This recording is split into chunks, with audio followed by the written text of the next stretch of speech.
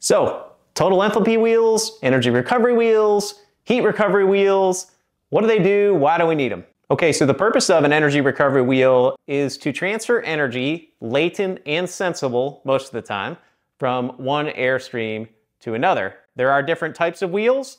Some just transfer sensible only. Where we are located in the southeast, almost exclusively we use total enthalpy wheels, which again transfer latent and sensible heat from one airstream to another.